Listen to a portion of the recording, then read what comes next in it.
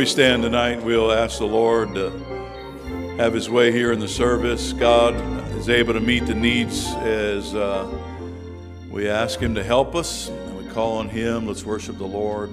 Why don't we just pray together? Ask God to have his way. Father, we love you tonight.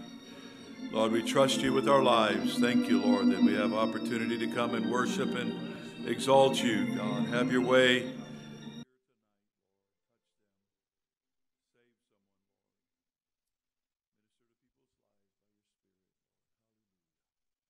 Praise God. Are you glad you're in the house of the Lord this night? Amen. Amen. You may be seated, Brother Seth. Come on. And uh, he's going to lead us in some songs here tonight. Praise the Lord. Praise the Lord.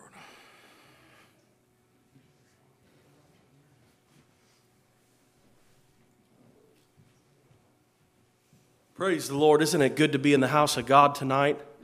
Amen. I'm always thankful for an opportunity when I can get in touch with God's house and God's people.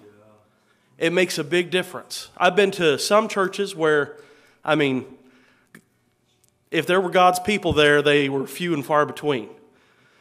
And I've been to some places where you could just feel as soon as the service opened up that there was a, a mind to worship there. The Bible says that He dwells in the praises of His people. And I believe that that's a promise that if we'll praise Him, that He'll be present. So, here tonight, those of you that will, why don't you go ahead and stand? And we're going to start uh, with Holy Spirit, Thou art welcome in this place.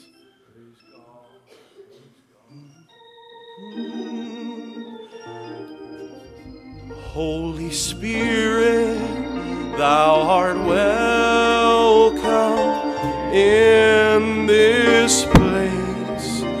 Holy Spirit, Thou art welcome in this place. Omnipotent Father of mercy and grace, Thou art welcome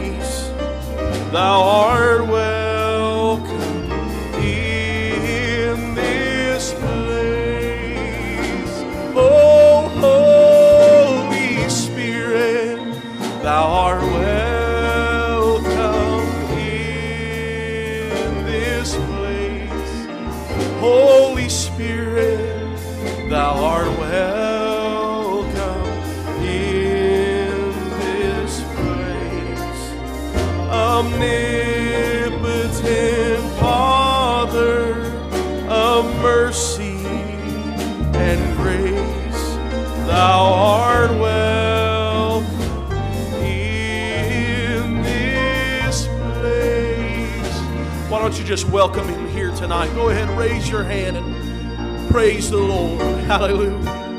Thank you, Lord, for the opportunity to come into your presence, to come into your house, Lord Jesus. Lord, to experience your faithfulness day by day. Oh, thank you, Jesus. Thank you, Jesus. Thank you, Jesus. There's another old course along those same lines says, I will enter his gates with thanksgiving in my heart. I will enter his courts with praise. Oh, I will say this is the day that the Lord has made. I will rejoice, for he has made me glad. He has made me glad. He has made me glad. I will rejoice, for he hath made me glad. He has made me glad. He has made me glad. I will rejoice, for he has made me glad. So I will enter his gates with thanksgiving in my heart. I will enter his courts with praise. And I will say, This is the day that the Lord has made. I will rejoice, for he has made me glad. Oh, he has made me glad. He has made me glad. I will rejoice, for he has made me glad. He has made me glad. He has made me glad. I will rejoice, for he has made me glad. So I will enter his gates with thanksgiving in my heart. I will enter his courts with praise. I'm gonna say this is the day that the Lord has made. I will rejoice, for he has made me glad. He has made me glad. He has made me glad. I will rejoice, for he has made me glad. He has made me glad. He has made me glad. I will rejoice, for he has made me glad. Amen. Praise the Lord. Praise the Lord. If you have your songbooks there, turn in your Holiness Hymns book to page 18. This is a song that I will be honest, I really don't enjoy playing. but I love the words to it. And I love singing it. Love lifted me. Amen. Page 18.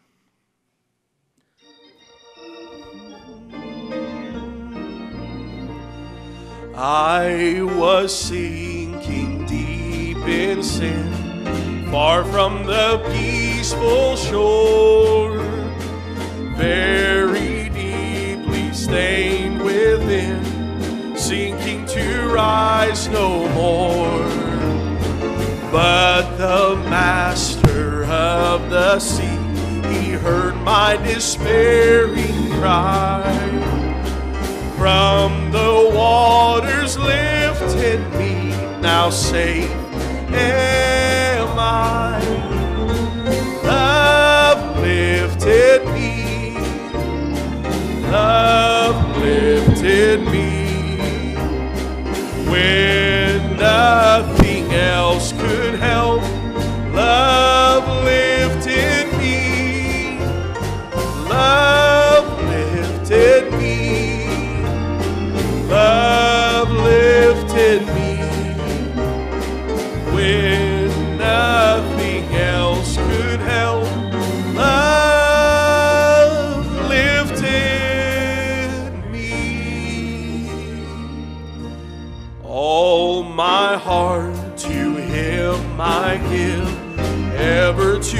Him I'll cling in his blessed presence live, ever his praises sing. Love so mighty and so true bears my soul's best songs. Faithful, loving service to, to him belong. Lifted me love lifted me when nothing else could help. Love lifted me, love lifted me, love lifted me when nothing else could help.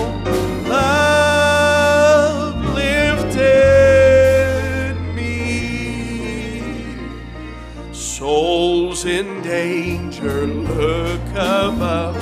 Jesus completely saves. He will lift you by his love out of the angry waves. He's the master of the sea, billows his will obey. He, your Savior, wants to be, be saved today.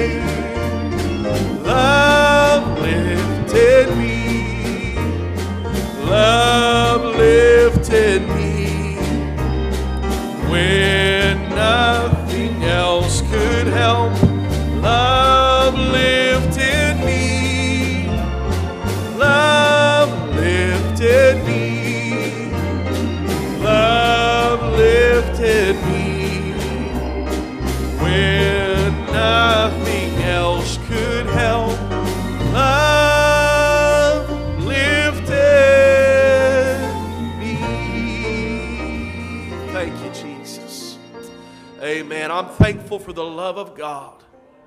If it wasn't for His love, we would never stand a chance. But by the love of God, He sent His only begotten Son into this world so that you and I might have life and might have it more abundantly. Amen. I am thankful for the love of God. And I know because of His love that I can trust Him. No matter what happens, if the, the Bible says in Romans chapter 8 that He who hath given His own Son, how shall He not with Him freely give us all things? He knows what we have need of. And He's not only able, but He desires to supply and to satisfy our need. And so I can trust Him. Amen. Turn with me to page 9. We'll sing Tis So Sweet to Trust in Jesus. Praise the Lord.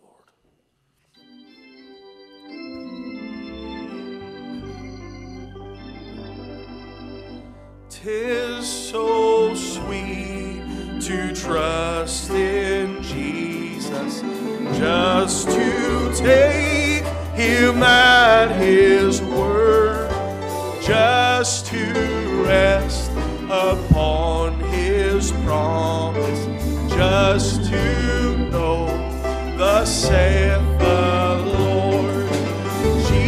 Jesus, Jesus, how I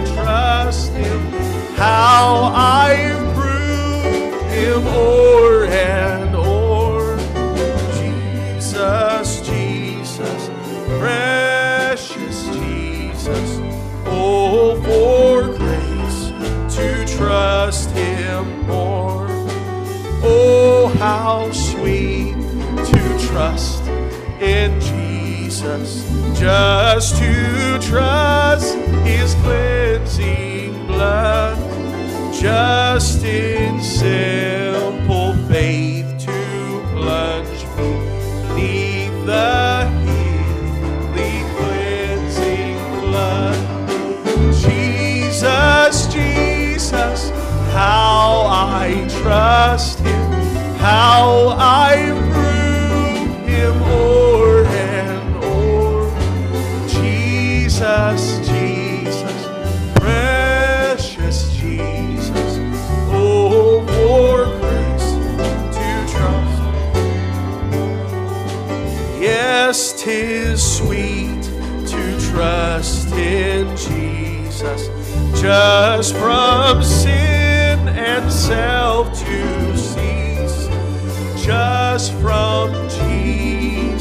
Jesus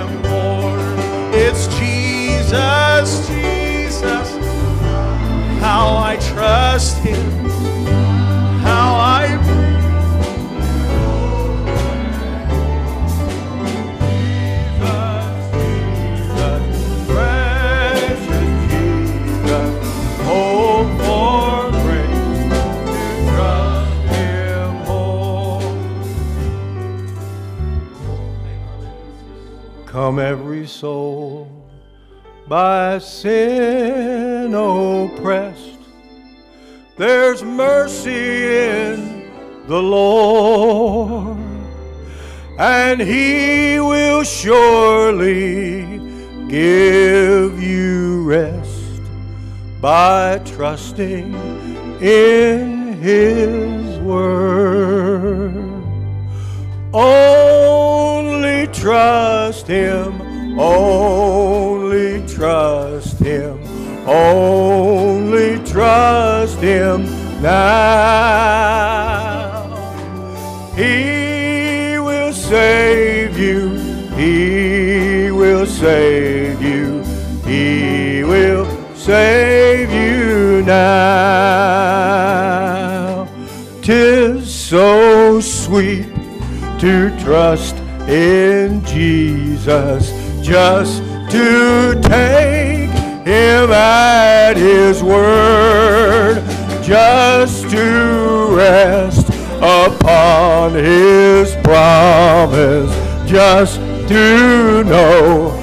Thus saith the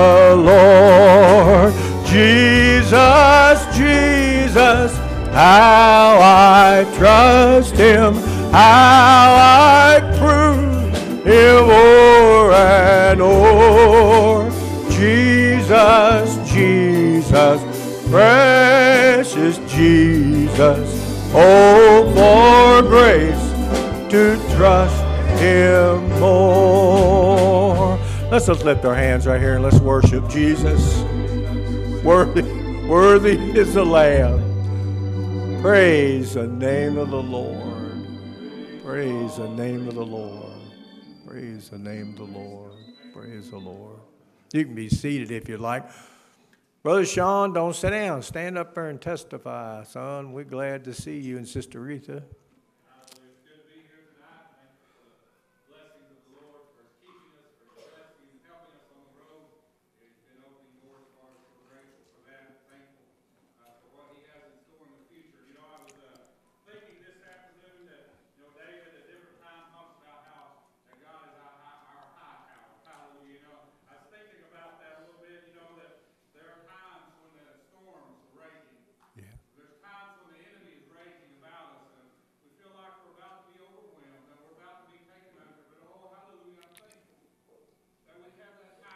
Yeah.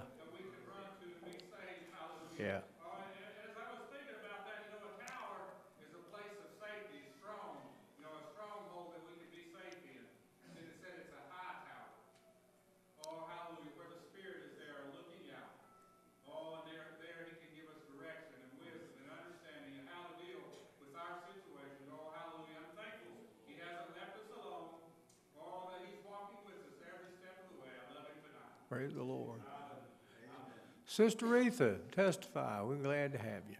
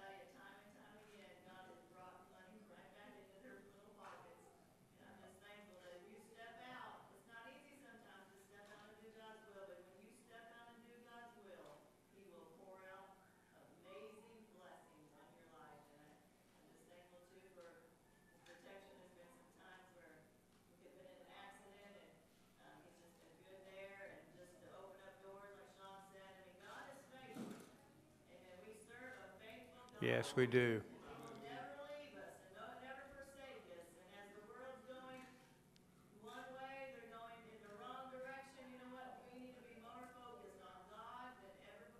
Yeah. Amen. Praise the Lord. Well, really good to have y'all here tonight. If we could have the ushers come, we'll take the offering. Um,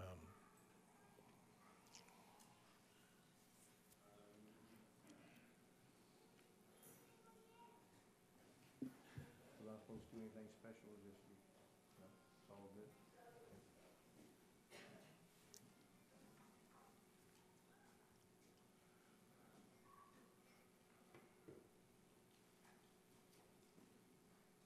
I hadn't talked to Brother Miles about this. I'm just kind of getting up here acting like I know how to run the place. But anyway,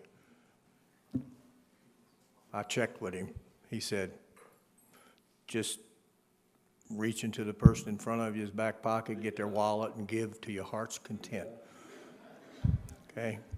If you got any question about whether we need money, you just go up there and look at the building we're, we're- building, and it'll, you'll soon figure out. We need all the offerings that you could give. But we appreciate uh, that.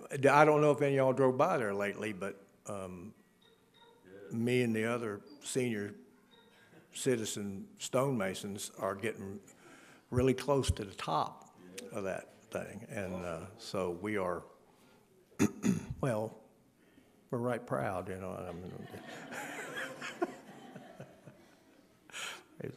Go ahead and pray, Brother Seth.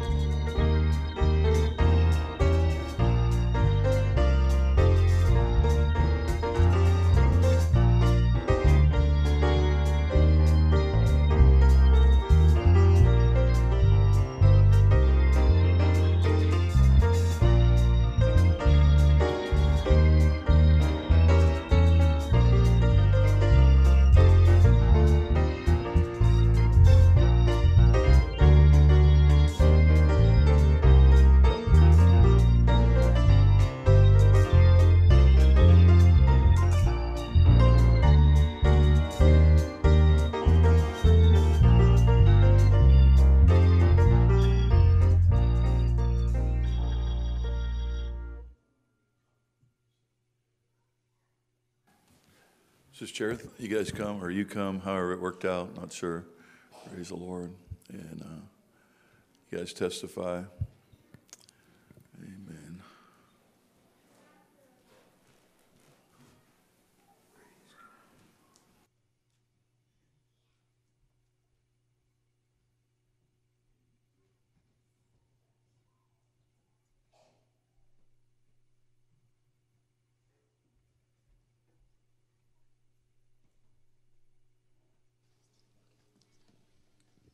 Well, I'm thankful to be in the house of the Lord tonight. I'm excited for what the Lord is going to do. I've just come to the house expecting something great. It's really weird being here after school has ended, and now I'm here to live, and it's so, so different and new. But I know that the Lord has great plans for this church, and I know that He's going to do something amazing if only we'll allow it, and only if we'll reach out and we'll extend our hand for Him to bless us and use us for His glory. Uh, worship with us as we sing tonight.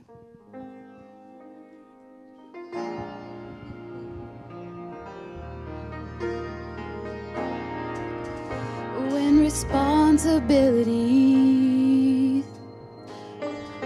and my everyday needs leave me no time to share. I say I really care when I learn to live unselfishly and see the needs beyond what pleases me? Then I can truly say I lived for you today. Fresh anointing fall on me. Open up my eyes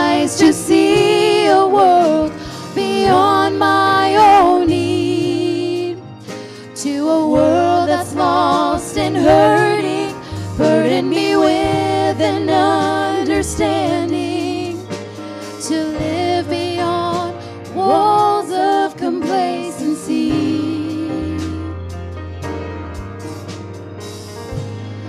Let me live beyond my own need.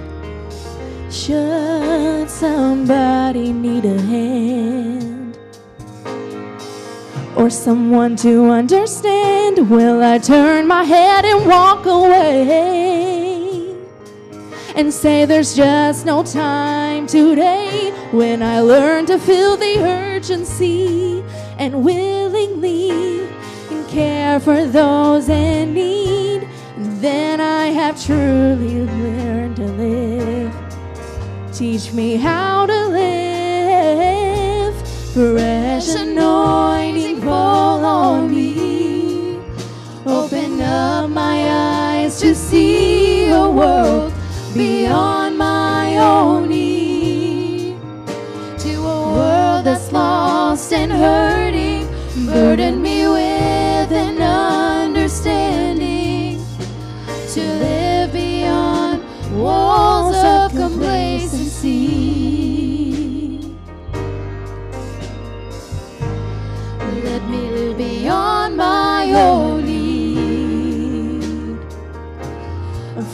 fresh anointing fall on me.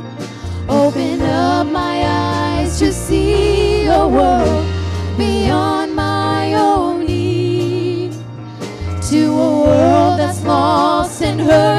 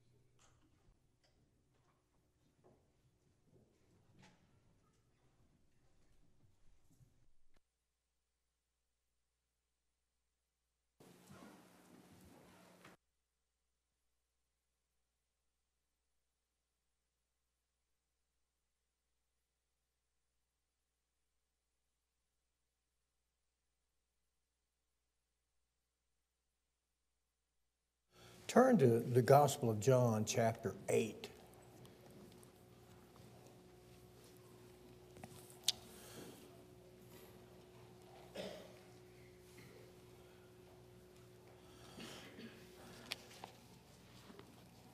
I, I know there's a lot of stuff that consumes our thoughts and gets us, uh, you know, focused on a variety of challenges in life, but really, if you're a Christian, you need to remember that your first priority in life is to be used of God. I, I know that not everybody's called to preach, not everybody's called to teach Sunday school class, but every Christian needs to desire to be used by God in some positive way in the world. It's it, I, uh, inactive Christians are not the will of God. So if uh, if it's uh, going to help you any, I just want you to know you need to be willing to be willing to do something. And if you don't uh, serve the Lord, you will never grow spiritually. I've never known anybody that just didn't try to do something in the kingdom that ever made any spiritual progress. And, uh, and if you don't submit to the will of God, what God tells people they need to do as Christians, you won't ever be any good to do any work. I mean, it just, God can't use you if you're not willing to be the kind of vessel He can use.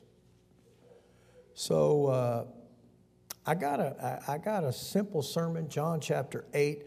I got one verse I'm going to read. It's a, a topical sermon, so I got some other points that I'll make from other passages of Scripture, but this particular verse actually states what I want to talk to you about tonight. John chapter 8 and verse 29. Now, this is Jesus speaking. Listen to what he said. And he that sent me is with me. The Father hath not left me alone, but this is the part I want you to really listen to. For I do always those things that please him. For I do always those things that please him. Now, I want to talk to you. This is a very simple, very simple subject. I just want to talk to you about how to know what to do. How to know what to do. Jesus said, I do always those things that please him. Now, he's the only one that can truthfully make that statement.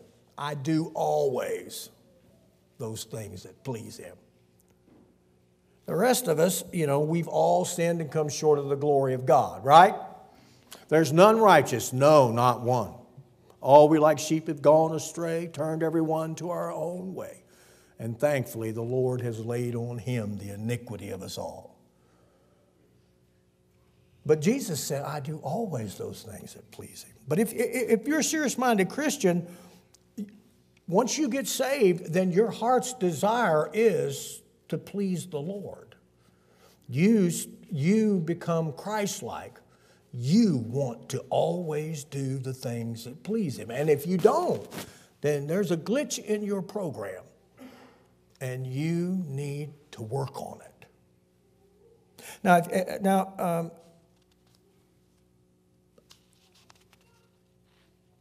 did I make that, that last part there? If you don't, the glitch in your program? I'm just trying to tell you if you don't want to do what pleases Him, you're going to end up in hell. That's, it's just that simple. You have got to want to obey the Lord. And, and if you don't want to, you need to, you need to somehow or another get that prayed through till you do want to. Now, the, the daily challenge that a Christian has to face, though, is how to know what to do. How am I going to know, Brother Taylor, what to do? If I'm supposed to do always those things that please Him, how am I going to know what to do? Well, there's, there, there's a lot of choices in life that, that are not heaven or hell issues. I understand that. They're not life or death issues. But nevertheless, God has an opinion about everything you do. And you want to remember that. If you're going to try to please Him, He's got an opinion about everything. And you ought to want to know what His opinion is. You ought to know what He wants you to do in any given set of circumstances, whether it's a heaven or hell issue or not. Uh, and and, and uh, your opinion about every important decision in your life really needs to base, be based on whether or not your choice will please the Lord. What will the Lord think about me doing this? Y'all following me now? I'm, I'm just telling you, I know young people, they, they, you know, especially, and even old people sometimes, you know, they're, they, they have a lot of non-essential nonsense spinning around in their head, and they like to do goofy stuff and all that. But you, but you need to be really careful even about that stuff. Would the Lord be pleased with this? Jesus said, I do always those things that please him. And you are supposed to be Christ like. So you need to ask yourself in everything you do, that, am I doing what pleases him? Now, uh, uh, I always I try to emphasize this because, you know, young people growing up, and I know y'all young people feel like I'm rattling your cage, but I really am trying to help you because you're growing up and you're going to make a lot of very important life decisions here shortly.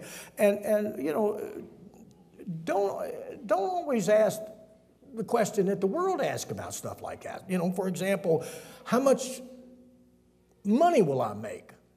You know, a lot of people, all, that's all they ask when they go to take a job. How much money will I make? Well, that's not the only question you need to be concerned about. Yeah, you got to have money, and oh, wow, I'm all for making as much of it as I can. But the thing of it is, how's this going to affect your church attendance? How's it going to affect your spiritual life? How's it going to affect those things that are really more important than all of that? You need to ask yourself those questions too. Well, how much will it benefit me? Or, or, or, or will it make me happy? Or, or any other self centered question. You have got to learn that that is not the first thing on your list when you make decisions. I'm talking to you about how to know what to do. Now, always remember that the first question about the choices of life should always be what does the Lord think about this?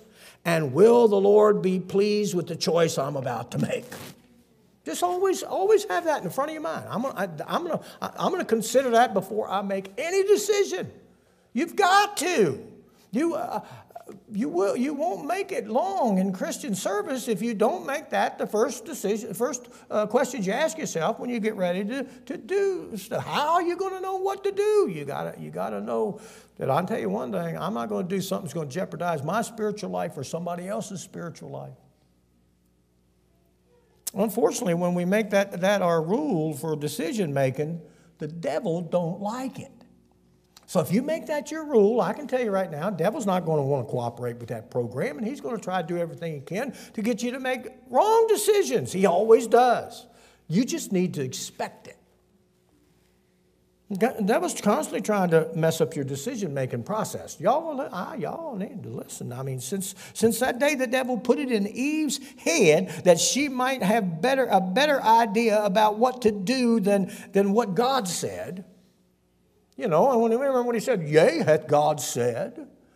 You know, well, maybe, maybe, you know, what he was insinuating, well, maybe, maybe, maybe, maybe, you know, maybe you got a better idea. Maybe you got a better idea of what's good for your life than what God does. You don't, but the devil will try to tell you you might. Jesus operated on a clear principle. He said, I do always those things that please him. Now, that was where Adam and Eve messed up, but you don't want to mess up. You want to make it always your desire to do what pleases Him. And that leaves you no time. If you'll always do the things that please Him, you won't have time to do the things that don't. Now, now any help you might possibly get out of this sermon is going to depend on the fact that you want to please God. Now, I'm, I'm just telling you, if you want, if you want, if you want to please the Lord, I'm going to tell you a few things, just basic you know, cornbread kind of preaching, just regular things that would really help you. But if you are not so worried about that, you're just going to have to endure this in silence. I mean, if you just if you just if you just want to live fun and, and live a, a sensual pleasure 24-7, uh, then then what I'm about to say is not going to help you much. But if you care about where you're going to spend eternity, Okay? And if you care about what kind of effect your life is going to have on the people around you, then the basic points I'm about to make is going to be of interest to you. Now remember, the answer to the question, How to know what to do. That's what I'm talking about. That's just, that's just a title of the sermon, just a simple question. How to know what to do. And, and the answer to that totally depends on who you care about and who you want to please. Who you care about and who you want to please. That's how you're going to know what to do. Okay, here we go. First, how to, how to know what to do? You need to try to think about things with your renewed mind and not your carnal one. You know, when, when you get saved, the Bible says it's the renewing of your mind. Let's, Romans uh, 6.24, therefore we are buried with him by baptism unto death, that like as Christ was raised from the dead by the glory of the Father, even so we should walk in newness of life.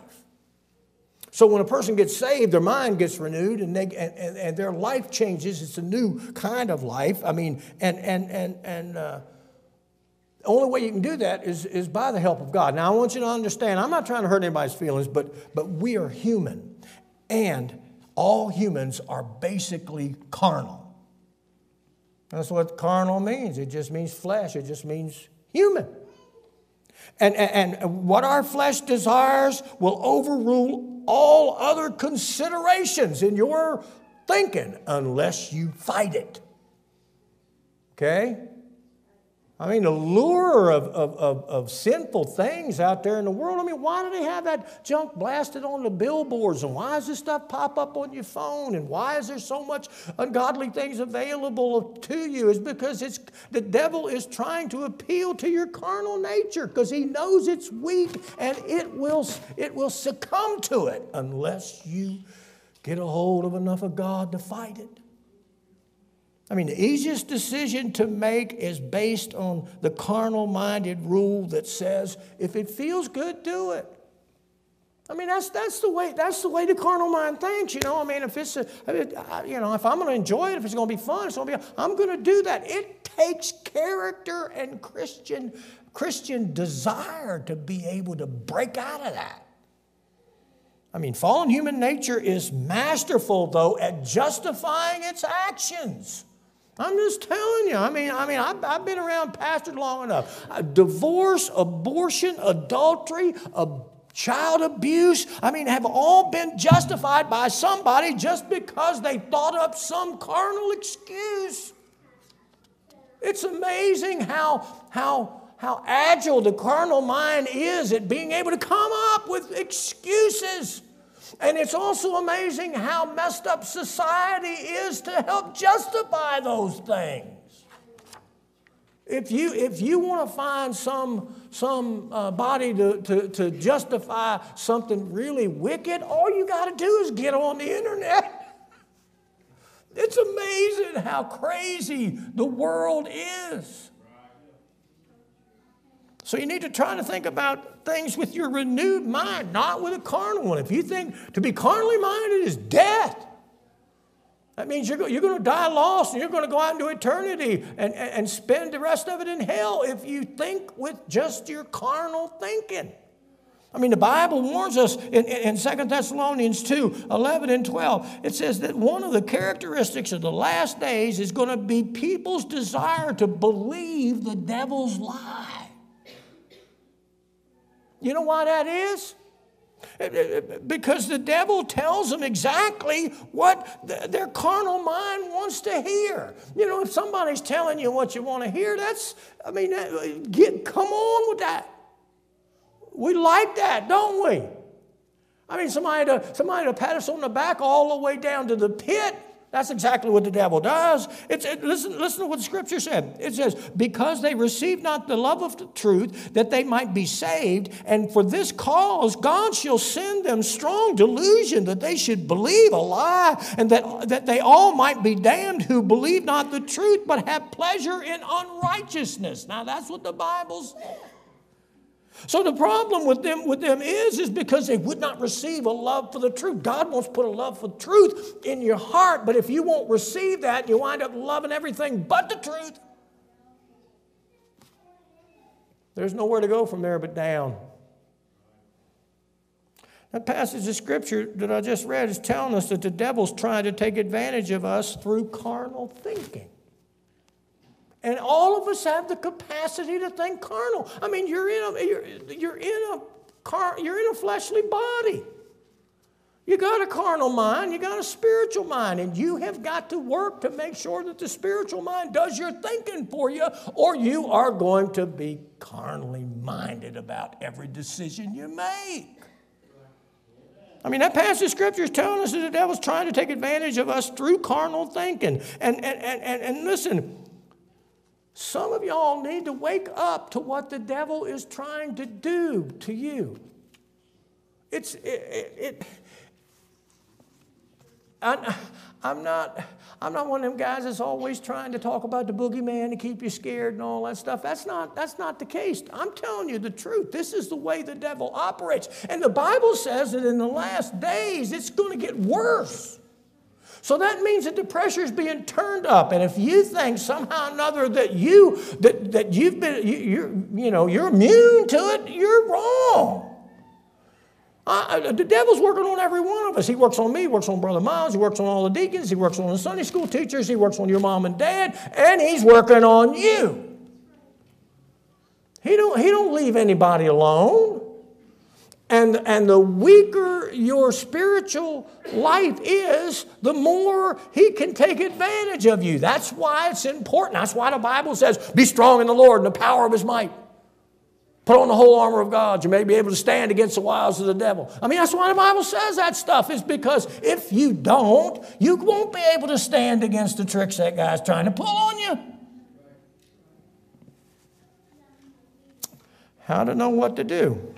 Second, you need to try and find out what God's word says to you or says you should do in the situation that you're facing. Okay, now listen to this 1 John 2, verse uh, 15. Love not the world, neither the things that are in the world. If any man love the world, the love of the Father is not in him. Uh, what does that mean? That means that if you love the world, it crowds out your love for God. That's what happens. It's just like it's just like uh, you know you can't you know like the Bible says you can't serve two masters. You either love one, hate the other. I mean, if you get to really love in the world, then all the love you had for God is moved out. And you might be able to sit there and say, "Well, now, brother Taylor, I love God, and you don't hurt my feelings, and you offended me." I, I'm not trying to hurt your feelings or offend you. I'm just telling you what the Bible said. Nobody can serve two masters. Now. For all that is in the world, the lust of the flesh, the lust of the eyes, pride of life, is not of the Father, but is of the world. And the world passes away and the lust thereof, but he that doeth the will of God abideth forever. So try and find out what God's word says you should do in a situation that you're facing. Don't go blundering through, through your day uh, and, and, and today life uh, like there's no rule book to go by. You don't have to wonder about some things, whether they're right or wrong, or a good thing to do or a bad thing to do. You got information. You need to read your Bible. Uh, uh, it's universally understood that the, that the world operates by law. Did you know that? You say, oh, you know, law. No, no. From the law of gravity to the speed limit, it operates on law. If you didn't have any law, it'd be, it'd be bad sure enough. But most important law is the law of God. And John states in, in, in, in 1 John 2 17 that doing the will of God is the key to having a life that ends up in heaven for eternity. And the world passes away in the lust thereof, but he that doeth the will of God shall abide forever. If you want to do, if you want to make it to heaven, you obey the law of God. That's why you know, if anybody ever asks you, well, why in the world do you get up there and preach, preach all the time, preach every service, read some text out of the Bible? That's why I tell my Bible school students, I tell, you know, in, in homiletics class, I tell them, don't, don't get up there and rattle off a bunch of notions that you got in your head. Read something out of the Bible and preach to them something out of the Bible because that's the only thing that's going to make any real eternal difference. The word of the Lord will abide forever. And all of your notions are going to pass away. Now, listen, listen to this statement again. Try and find out what God's word says you should do in the situation you are facing. Now, I want to, I want to press that with you because some of y'all are facing situations. I'm not, I'm not saying I'm aware of them because I'm not, but I'm just saying I know how life is. And there is constantly situations come up where you have to make a decision. And you need the Word of God to help you to be able to do that. I mean, everybody in this room is facing things that are complicated and distressing. Huh? I mean, life, uh, life decisions are not easy to make. I mean, whether you're a kid or a parent or a teenager, you're, you're all, we're all in the same boat. We're constantly bombarded in, in life with decisions that are tough. And that's why we all need to, to hear sermons, go to Sunday school, have our own private devotions, because man does not live by bread alone, but by every word that proceeds out of the mouth of God. I, I, I, I, I can't overemphasize emphasize the importance of, of, of getting, getting the Word of God in your life daily, on a daily basis. I mean, it, I just, I, I, you've heard me say this a dozen times, but the thing of it is, it, it makes me cringe to no end to see how that, how that, that, that modern church a lot of times uses the Bible for nothing more as just one of the props that goes along with the decorations in the sanctuary. No, this is, this is the main thing. We're going to build our life on what it says in this book. If we didn't have what it says in this book, we'd all be lost.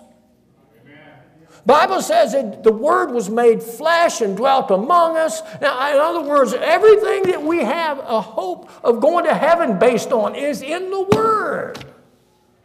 Get it, get it in your heart. Read it. Man, you guys got children. I know, I know it's a, I know it can be a real stressful thing to try to get kids to listen to have a devotion at home and all that stuff, but you need to try. I mean, we have Sunday school classes and we have Sunday school teachers, and we try to have capable Sunday school teachers and children's church and all that stuff where, where people are, are confronted with the Bible. I got a little bit too much monitor up here, uh, so I'm sounding like I'm in a jug. Too much, uh, too much non essential nonsense has killed a lot of churches.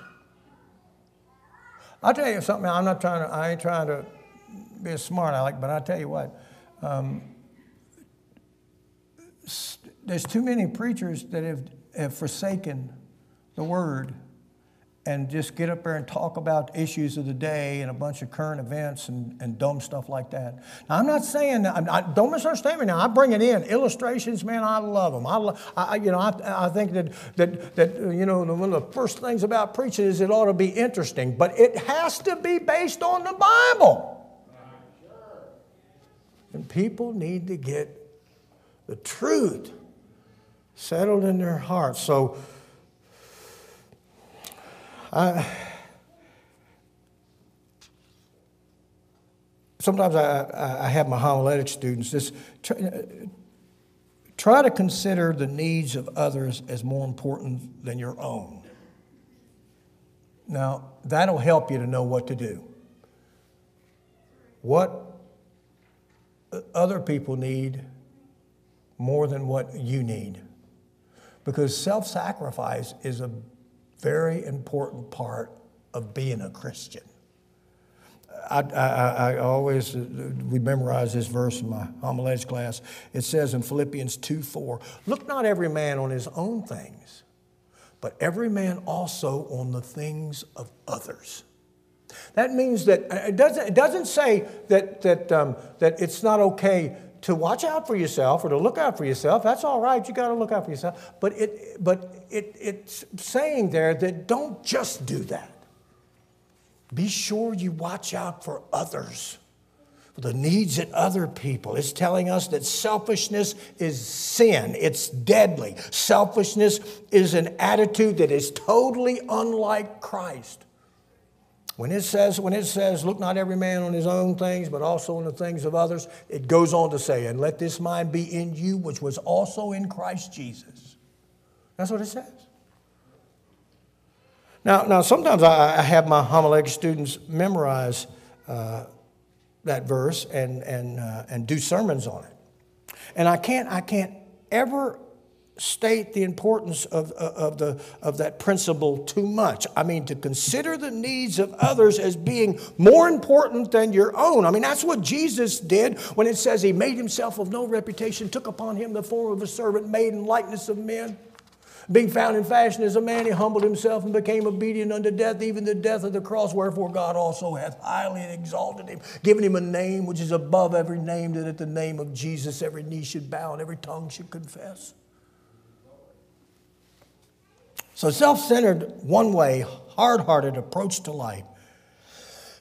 that's, that, that, that's, that's the core beliefs of the moral reprobates in our, of our day. Self centered, selfish. It's, it's the part, excuse me, of the Antichrist spirit that's getting a hold of people. And, and we who claim to be Christians and believe in the Bible and all the, the, the, the uh, things that the Bible teaches, we believe that the Bible is the all sufficient rule of faith and conduct. And if we believe that, we need to put our foot down and just simply say selfishness is a sin. Because it is. It is a sin. Let each esteem others as better than themselves. Work on that. It's tough on the flesh. Now, try to realize how important it is for you to do the right thing. Okay? Did y'all? I know that's a simple statement I just made, but try to realize how important it is for you in any given situation to do the right thing. Why, Brother Taylor, would that be important? Because James 4:17, therefore to him that knoweth to do good and doeth it not, to him it is sin. In other words, if you if you know that there's the right thing that you could do in any situation and you don't do it, it's a sin. You don't have to go out and drink, you don't have to smoke a cigarette, you don't you don't have to cuss somebody out it's still a sin. Just to know that you should do good in this situation and you don't do it, it's a sin. Oh, y'all need, to, y'all need to think about that. I mean, spiritual complacency is not just unfortunate, it's a sin. If you, if you know that you, that you need not to forsake the assembling of yourselves together, as the manner of some is, even more as you see the day. If you know you're supposed to go to church, you're supposed to go. And if you don't go, it's a sin. Y'all, under, y'all understand it? I'm, I'm not trying. I mean, it's not enough for you to not do the wrong thing. You've got to do the right thing. That's very important to people. I, I, I want everybody uh, uh, that's listening to me to start looking for ways to have a good impact on the world around you. Not just, not just say, well, I'm, you know, I'm gonna, I'm gonna satisfy myself with the fact that I'm just not gonna do anything bad and ain't gonna hurt nobody or nothing. But that's not, that's not enough. Look for things that are good that you could do. I mean, there's an old saying charity begins at home. Well, that's a good place to start. Why don't you do some good things around the home. Huh? You know? Be nice, y'all young folks, be nice to mom and dad. Make life a little more easier for them. Huh? Husbands, wives, be nice to your spouse. Try to look out for them. See if you can come up with some things, you know, that you see that, you know, if I did this, it would make it, it would make it better for them. What's everybody grinning about? Huh? I don't quit preaching and go on to meddling, right? No, but it is. It's just, it's really important. Look for things. To, there's more. Uh, to do than you could get around to. And after you after you've done after the charity begin at home, move on to your friends and folks you go to church with. And then after you get, do it on the job. Try to, try to show Christian benevolence to people that you have to work around, you know, and just be around. How we doing on this? I'm just, I'm, I'm, I'm almost done with it. But, but in other words, look for the right things to do and then press yourself and make yourself do it.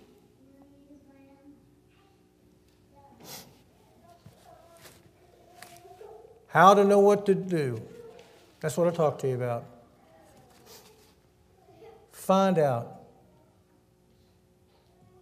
what would be the most Christ like thing I could do in any given situation and do that. That's how you know what to do. Uh, Brother Josh, some of y'all come. I'm going to quit here.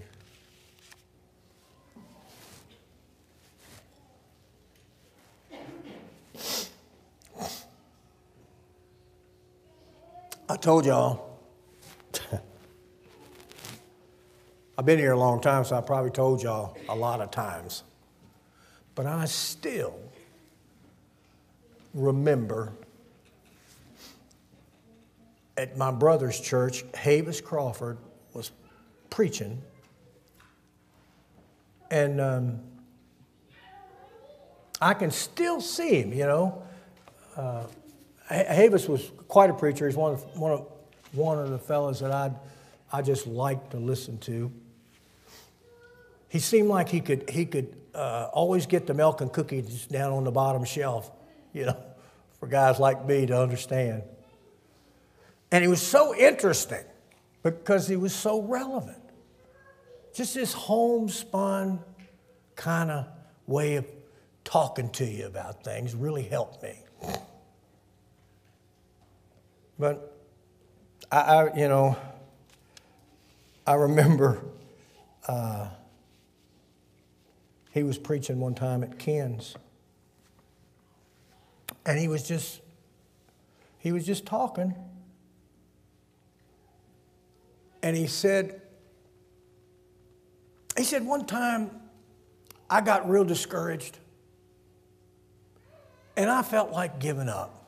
Now, that helped me right there just to know that a man of his caliber had come to a place where he felt like giving up, you know. And then I, I, it dawned on me as a very young preacher that uh, we all go through dark valleys sometimes. He said, I felt like giving up, and I just, he said, I just, I got tired of it. And he said, and, and, uh, and he said, but he said, But I had a, a vision or a dream. He said, I, I don't know which it was, but he said, he said, all of a sudden, he said, I was surrounded by little eyes that was looking at me. He said, I saw all these little eyes out there in the dark. And the eyes were shining. I couldn't see the faces, but I could see all these little eyes around there and he said, and the Lord spoke to me and said, That's all the little children and young people in the church that look up to you. And they got confidence in you. And if you, if you were to get discouraged and quit, it would devastate them. And I can still see, I can still see him he was preaching at my brother's church, Brother Kirkman. And I can still see him with his hands like this. he said, I could see them little eyes. Well, them little eyes are on you.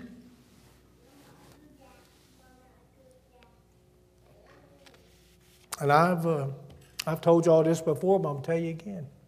There's been times that I've got discouraged. There have been times I, I just, you know, I got to the point where I just really didn't know what to do, and I didn't, and I was tired of messing with stuff. You ever been there?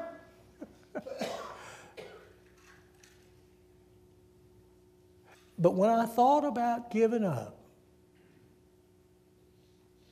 the first thing that come to my mind is What about my children? You know? I brought them up in the house of the Lord.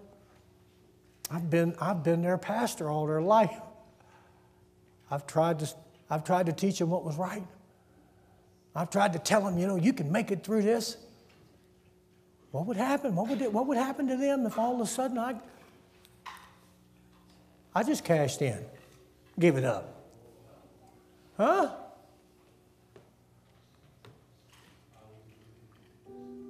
I'm not going. I'm talking to you. Uh, you don't want to give the devil the satisfaction of pointing at you and using you as a bad example, especially as we get closer to the end.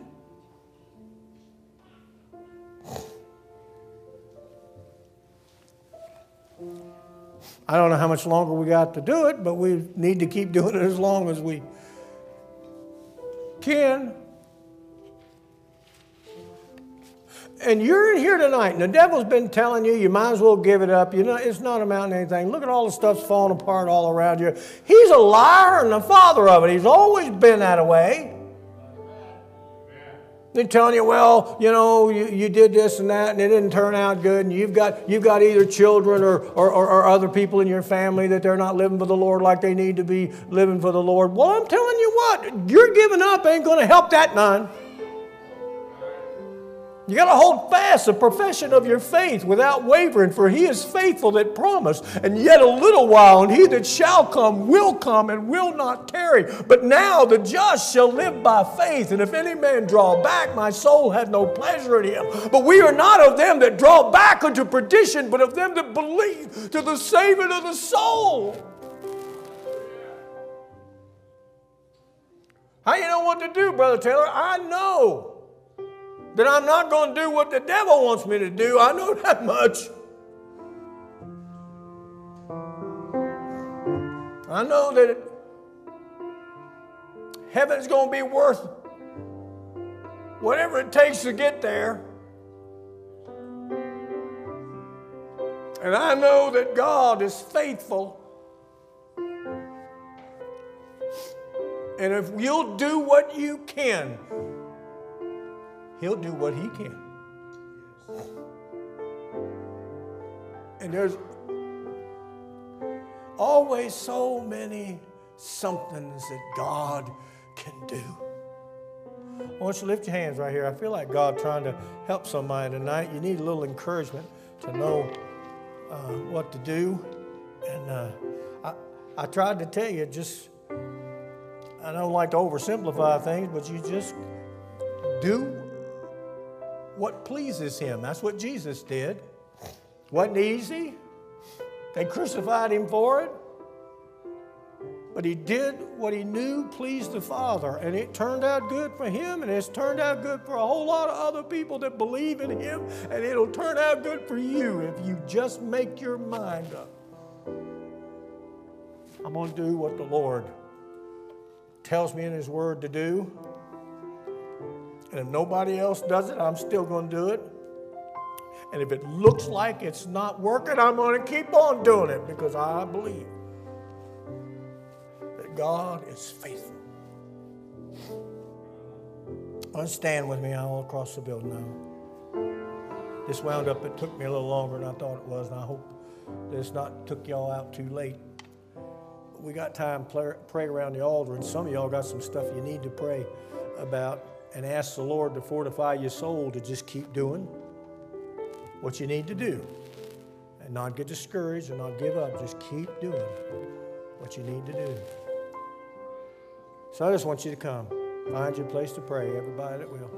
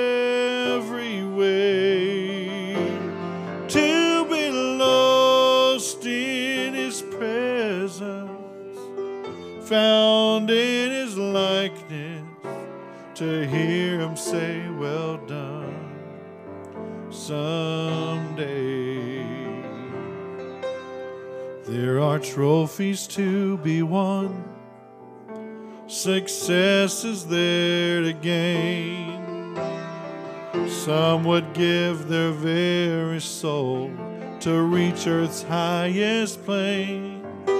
But to count this gain would be my loss if I lay down commitment's cross.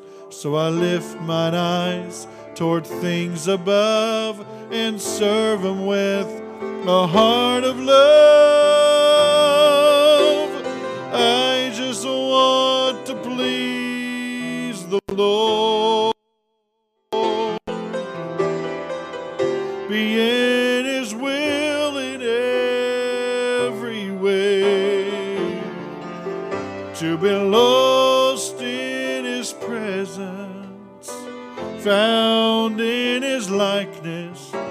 To hear Him say, Well done, someday.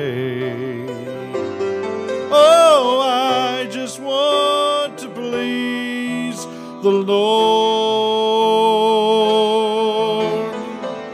Be in His will in every way.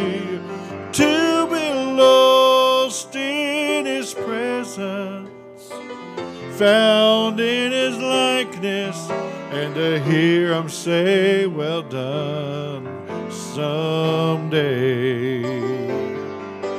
There are trophies to be won, success is there to gain. Some would give their very soul to reach earth's highest plane. But to count this gain would be my loss if I lay down commitment's cross. So I lift mine eyes toward things above and serve Him with a heart of love.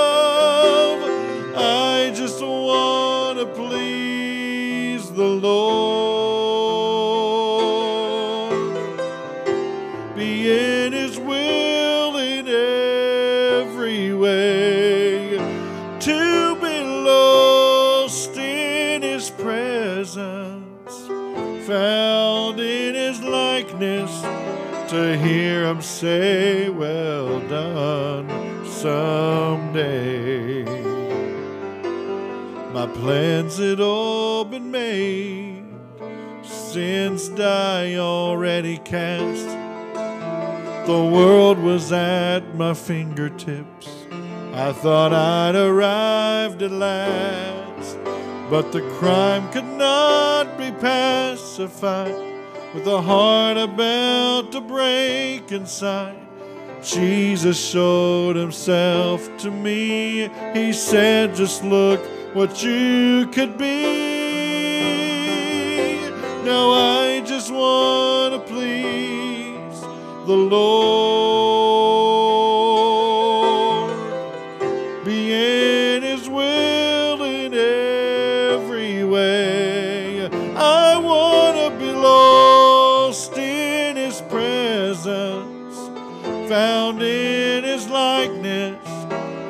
Hear Him say, Well done, someday.